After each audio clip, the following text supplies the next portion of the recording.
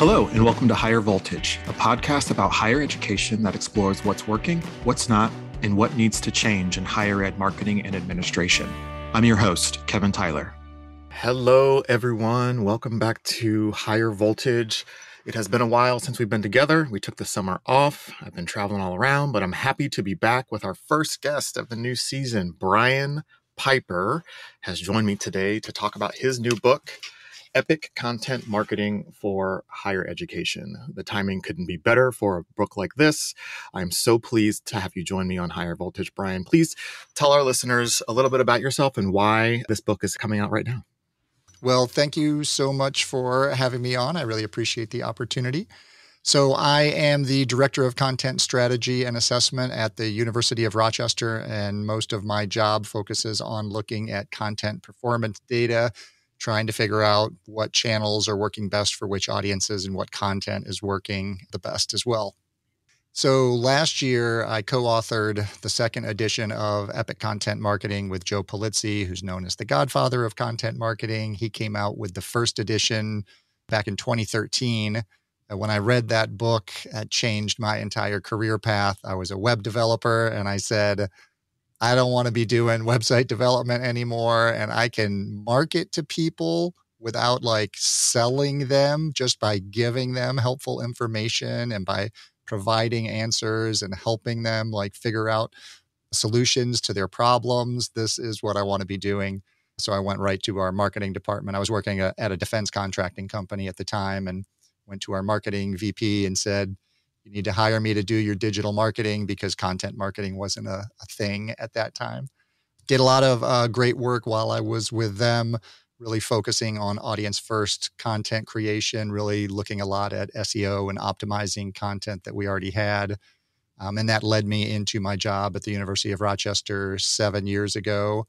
And since then, I started off in central communications. We weren't really doing marketing at the institution level at that point did a lot of SEO work, a lot of content optimization work. And then just this last October, we hired our first vice president of marketing and communication. So now we're actually getting into the marketing side.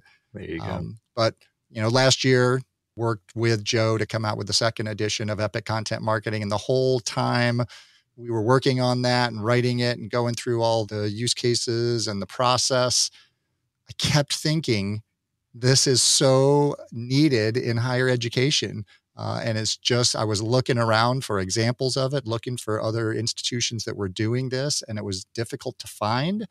And I thought that was particularly surprising because it's all about storytelling and educating and providing answers and helping people. And I'm like, that's what we do as institutions. Why are we not marketing this way? So I just really saw it as a missed opportunity. So as soon as we were done with uh, the second edition of Epic, I started working on this. And I started out by contacting, I think I reached out to 50 different VPs and leaders of marketing across higher ed. I reached out to a bunch of industry leaders, marketing uh, leaders, and content marketing influencers and leaders, and interviewed all of them and just tried to figure out what was working and what wasn't, and who was doing this already, and how could we all learn and better tell the stories of our faculty, staff, students, and alumni to help the next generation of uh, faculty, staff, students, and alumni. So that's that's why I wrote it. It's really great. And uh, I'm so glad you touched on your approach in writing this book. Uh, the format of it takes the quotes from your interviews and plops them right into the page as opposed to kind of like translating them into a, your voice or, or uh, opinions or being informed that way. And it really adds another level of like personality to the book that I really appreciate. But they're all very concise nuggets of really good information around content marketing. And so I think you may have touched on it a little bit, but I'd love for you to go a little bit deeper into why content marketing is so important in higher education from your perspective. Yeah, and, and you know, I got the idea of doing this as interviews from Teresa Flannery. So she wrote How to Market a University, which is one of my favorite books that I recommend to people all the time. And she had talked about having these book whisperers, basically, that she used you know, and she interviewed and she grew her knowledge base and then kind of used that to write her book without including as many of the quotes And so then when I was doing all of these interviews, some of the things that the people said, it was just so like perfect and concise. I didn't want to try to restate it or try to make it come across as my knowledge. As I was interviewing these people, I kept thinking, you know, one of the questions I asked everybody at the end was, you know, who is doing this? What what schools or institutions out there are already doing this well? And that was a really hard question for a lot of those people to answer, which I thought was indicative of the fact that, yes, we do need this book. But then there were some people that started pointing me at different use cases and different institutions that were doing this like really well.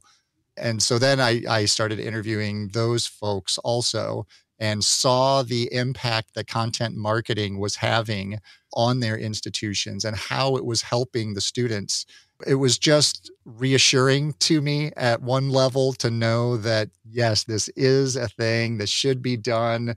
There are institutions already doing this very well, but there's a lot of people who I talked to who were just not doing it. Even people knew that it was an opportunity, they right. knew we could be doing it.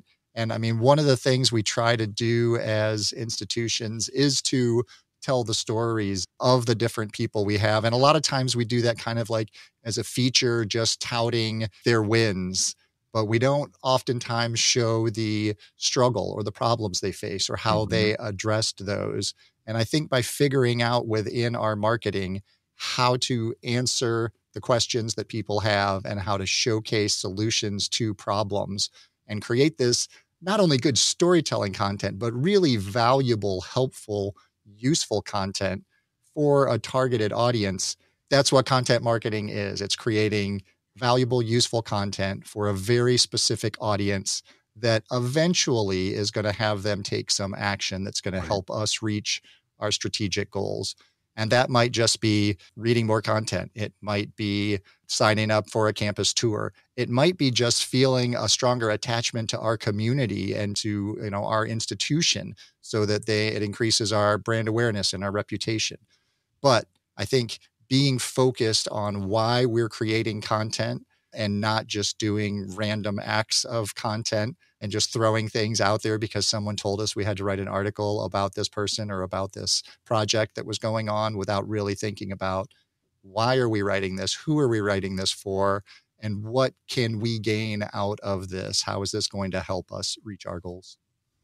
I couldn't agree with you more. You feature some of my absolute favorite higher education marketing thinkers. People have such mad respect for Tim Jones, Teresa Valerio Parrot, who's got a podcast on this network as well, Trusted Voices, Angela Polec, Jenny Li Fowler. I mean, there are some heavy brained people featured in this book. And I appreciate the breadth of the people you've talked to who do different things at their institutions or for their agencies, whatever it is, who bring this freshness to the thinking of marketing. And I think that to me, and, and from my perspective, the importance of this book and the importance of work like content marketing is where differentiation lies. The offer of a higher education doesn't really look different from place to place. And that's a conversation that's been had for eons. But when we start to split the hairs and what makes one institution better than the other, it is the stories that we are telling to represent the institution. And so the idea of content marketing finally becoming a thing that people are implementing, not even talking about, implementing uh, at, a, at a more aggressive pace is it really exciting to me. And I'm, I'm hopeful that we get folks placed in institutions who value content marketing so that some of those stories can kind of uh, rise to the surface. You mentioned in your previous response that there were some institutions that you heard of and that you spoke to uh, that were doing content marketing really well. Can you give us one or two of those examples and what they're doing, what that impact has looked like? Yeah, so we featured, you know, one whole chapter was just case studies, and there were scattered case studies or pockets within the book, but some of the ones that we really featured, uh, Purdue has just really transformed their marketing team into they used to be kind of an order taking team as many central marketing teams are right they just do what people ask them to do yep. and so they pretty quickly decided that they were not going to be order takers anymore and they decided to start saying no, which is difficult for a lot of marketing teams. They've kind of established a workflow or a process where you know, they just do what they're asked to do. So they really became much more strategic, high level thinkers about why they were creating this content and intentionally what they were doing. And they really leaned into storytelling. They really leaned into the emotional aspect of showcasing the people that they had within their institution. And it's really paid off for them. They've won all sorts of awards. I was at Content Marketing World last year, or year before last, when uh, they won the award for Best Content Marketer of the Year because of video content that they had created and the work that they had done to really build this entire brand and build up instead of doing order taking now they are leading by example mm-hmm. and as they create new resources they're providing those resources to anyone else within the institution that wants to do similar type of work but they are not taking on that work themselves uh, and they recently actually changed their entire marketing team to being a uh, brand production studio is what they are. So now they are wow. instead of you know just doing marketing they are now just focused on increasing the brand awareness and reputation of the institution. So that was one of my you know favorite case studies and everyone that i talked to there was enthusiastic and happy and excited to be on that team and be doing the work that they were doing. So i thought that was a great example and then what Harvard has done with their homepage takeovers, basically they are uh, every month or every couple of months they're changing their homepage because they did this comprehensive study of the traffic within kind of all of their different areas of their site. And they noticed that they were getting a ton of traffic on their homepage but most of it was not from potential students. It was not from target audience. It was just people who were coming to Harvard to see what new news they had or you know what they were showcasing. So they decided to take that opportunity and really lean into the educational aspect of their brand. And every few months, they change that up for a different, really impactful social topic. So they had like AI and the environment and areas where they are strong as an institution so they take that homepage and they write up some editorial content around it, but mostly it links out to existing content or areas of focus that they have around their entire digital landscape.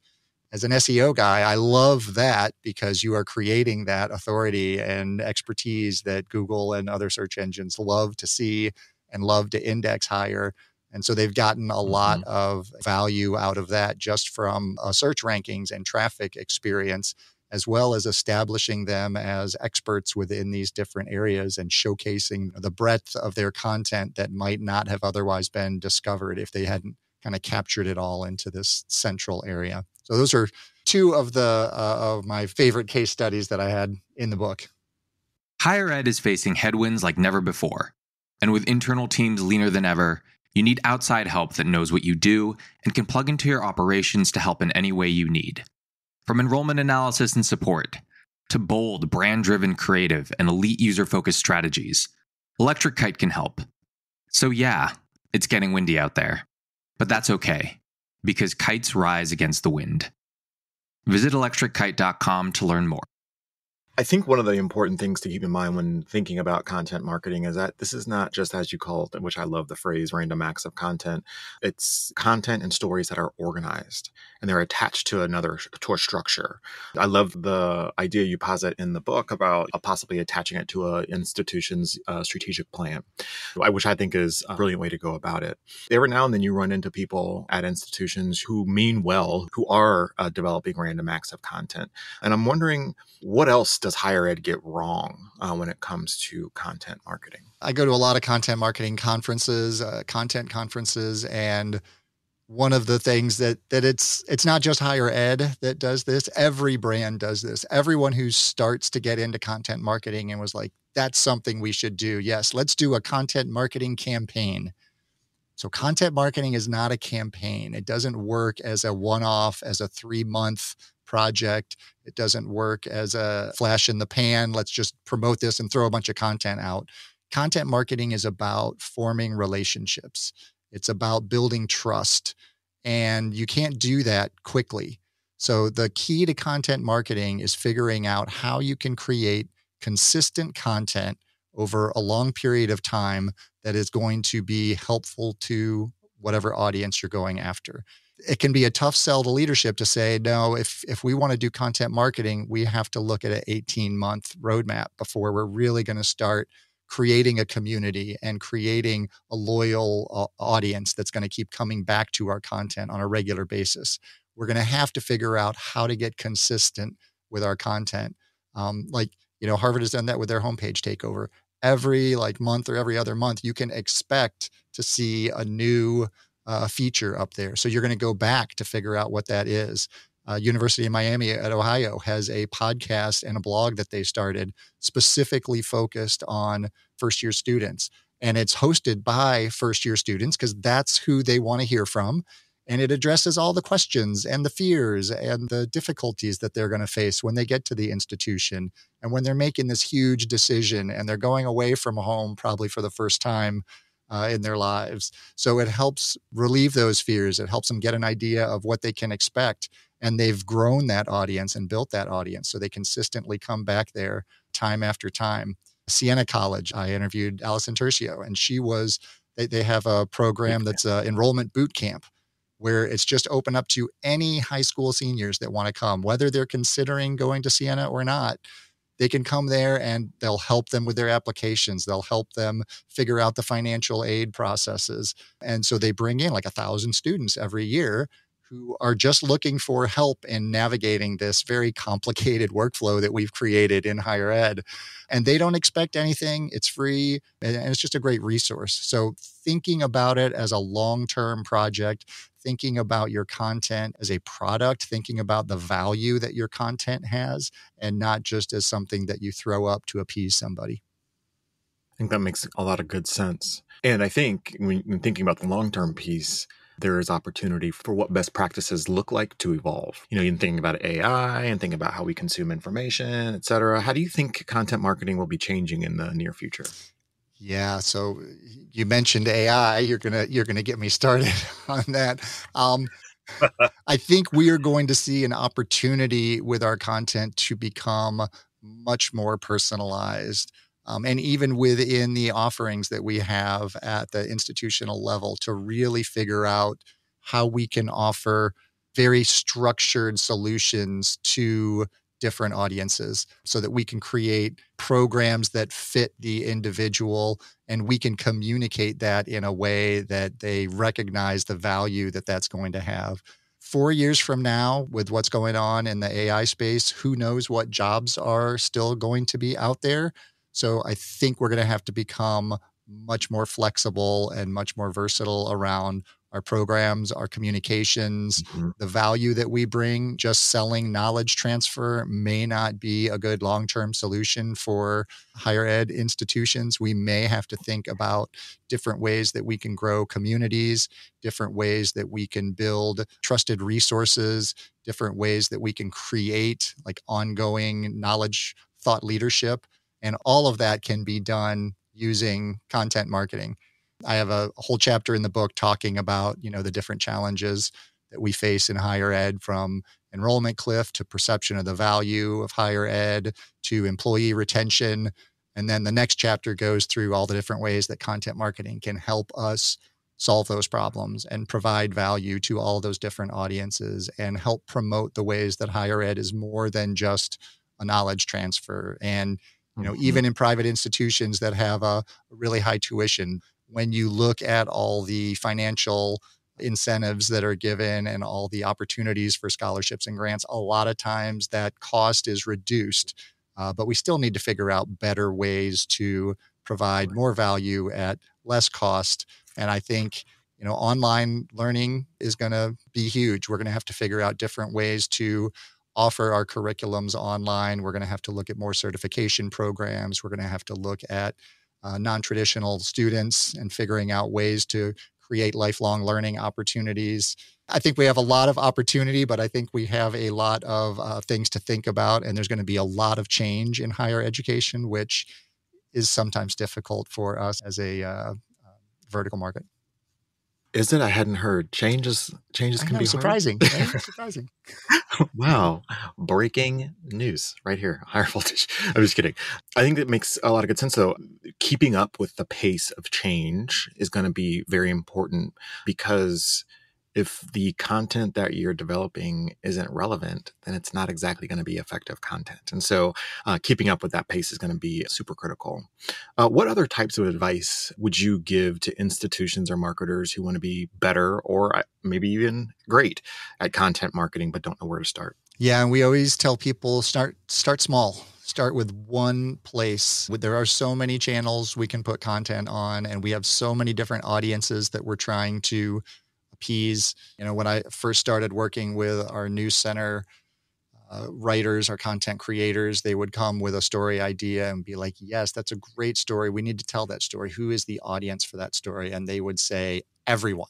Everyone needs to hear this story. And I was like, Everyone is not a target audience. So think of think of one audience, your main audience that could potentially take some action from reading your content and some action that will help us reach our goals. So, what's the biggest impact that we can have with one audience? That's your target audience. So, I think starting small with one channel and starting with one audience and really focusing on how you can help that audience and what value you can offer them. What problems are they facing, and how can you create your content to not talk about you, but to talk about them and to talk about how you can mm-hmm. help them solve problems and and answer their questions. I could not agree with you more. And then one of the questions I ask every single person I am joined by on this uh, podcast uh, is what do you think higher education, not just content marketing, but higher ed itself, what will it look like to you in 10 years? Or what do you hope that it looks like? Uh, I love this question. That my whole last chapter in the book is all about the future of, of higher ed, yep. higher ed marketing. So I am very bullish on higher ed and the opportunities that we have as higher ed institutions. I think two years is hard to predict with the, the pace right. of change that we're experiencing. I was at an AI conference two weeks ago, and uh, someone was saying that you know we're all talking about AI right now. It's the buzz, but there's so much going on with you know AR and VR and robotics that you know I think they said that within the next five years we're going to have more than a billion autonomous robots like walking around in in the world with us. So that changes so much about I know, right? It, it just changes the entire wild. world. It changes the job opportunities. It changes how we learn. You can get knowledge at the tips of your fingers. We already have it, a lot of it with our phones, but now if it's integrated into glasses that we're all wearing, and you don't have to like remember or learn these things like in school for years, you can learn it at the moment that you need it. Right. So I think higher ed in 10 years is still going to exist. I think it's going to exist in a very different form. I think we're going to have to figure out how to globalize and democratize education. We're going to have to figure out how to make the cost more consumable for every different audience. I think we're very selective right now. I think there's a lot of mm-hmm. issues right now around the fact that we're kind of perpetuating a lot of socioeconomic barriers in higher education because we are limiting it to certain audiences. So we're going to have to figure out how to overcome that. I think higher ed is going to become much more of a exercise in how to think in how to develop the soft skills that we all need. So we're going to have to learn leadership. We're going to have to learn teamwork. We're going to have to learn how to understand the human side of thinking more than just the performance or the uh, you know knowledge regurgitation side that so much of our learning is focused on now. I don't know exactly what form it's going to take, but I know that there are huge questions and issues that the world faces, that our uh, humanity faces. I think the world's going to be fine, but humanity, I think, is facing a lot of crisis and issues. And I think the best place to look at solving those are higher ed institutions where you can bring people together. I think virtually, we're going to get into a lot of more virtual spaces where we're going to be able to bring in people from all sorts of different cultures and backgrounds and ideas to really get the most impactful solutions and, and kind of the most diverse and inclusive solutions so that we're not just thinking about the problems that we face in our little corner. We're thinking about how that impacts the world, the global environment, global economy. And, you know, speaking of economy, I think the AI and robotics impact on jobs is going to be a huge crisis that we're going to have to figure out. How do we give people purpose if we don't have to do all these jobs that we're doing now, mm-hmm. or if we can do them all in a day instead of five days? And so it's going to be some major shifts, but I think the best place to start thinking about how those shifts can be made at a at a holistic level is within learning institutions. Brian Piper, thank you so much for joining me on Higher Voltage today. If you have not picked up a copy of Epic Content Marketing for Higher Education, I would highly recommend it. It's a great read, fast read, uh, and lots of really, really great information. And it's brand new. It came out on September 10th. That's right. right. Yep brand new, hot off the presses. So, Brian, thank you so much for joining me and for your time today and for uh, writing this excellent book and for featuring so many great, great thinkers. Well, thank, I love thank it. you for having me on, Kevin, and thank you for all the epic content that you produce. I love the, I love the show. I love all the thought leaders that you talk to. Thank you very much. That's it for this week's episode of Higher Voltage. We'll be back soon with a new episode, and until then, you can find us on Twitter at Volt Higher Ed and you can find me, Kevin Tyler, on Twitter at Kevin C. Tyler 2.